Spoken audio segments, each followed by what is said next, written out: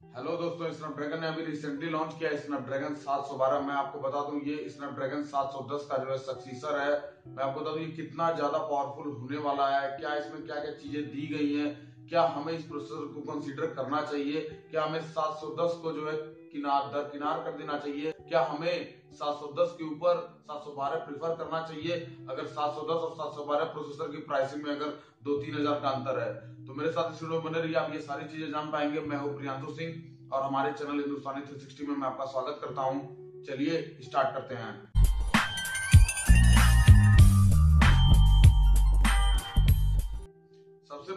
बात कर लेते हैं आर्किटेक्चर की तो मैं आपको बता दूँ, यहाँ पे स्नैपड्रैगन जो 712 है क्वालकॉम क्रायो 360 पे बेस है। जैसा कि हम लोगों ने देखा था स्नैपड्रैगन 636 भी इसी पे बेस था, और जो स्नैपड्रैगन 710 है, वो भी इसी पे बेस था, और जो 712 है, ये भी इसी पे बेस है।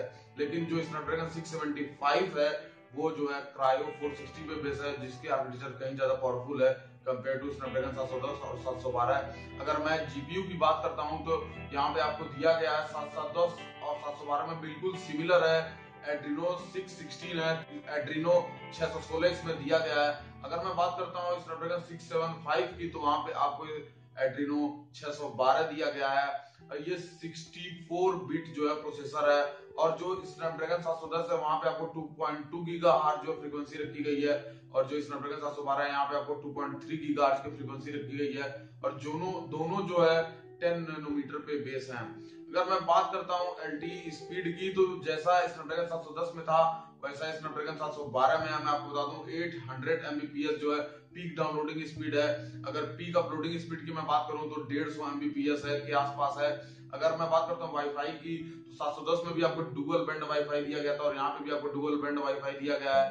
अगर ब्लूटूथ की बात करूँ तो आपको ब्लूटूथ 5.0 मिलता है, जो 710 में भी मिलता था और 712 में भी आपको दोनों में सिमिलर मिलता है। अगर एनएफसी की बात करूँ तो दोनों सपोर्ट करते हैं 710 भी सपोर्ट करते हैं 712 भी सपोर्ट करते हैं।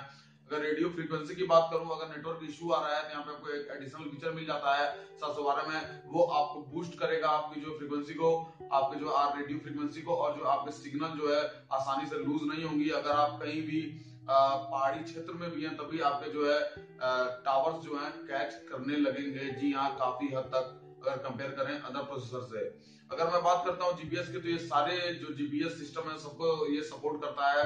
जैसे ग्लोनास होता है, और मैं आपको बता दूँ गैलीलियो और अदर्स भी हैं जो है, वो सारी चीज़ें सपोर्ट करता है। अगर कैमरा की मैं बात करूँ तो यहाँ पे जो है, आपको 20 मेगापिक्सल के दो कैमराज आप लगा सकते हैं।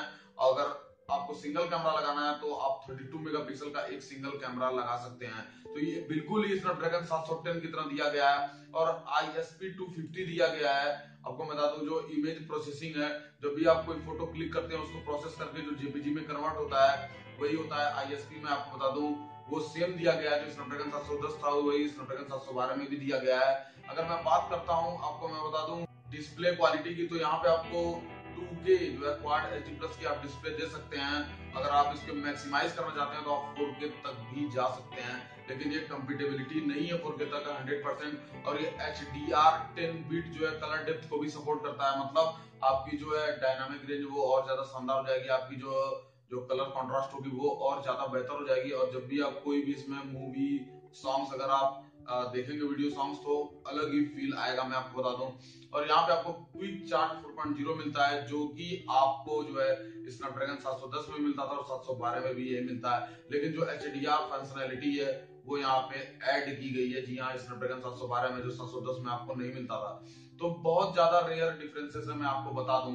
तो मैंने ये सारी चीज़ें आपको बता दी, जो जो आपको मेन था, मैं आपको बताना चाहता था। तो आप देख सकते हैं, बहुत ज़्यादा डिफरेंसेस नहीं है। फ्रीक्वेंसी में डिफरेंस है एस डी आर यहाँ एड हो गया है।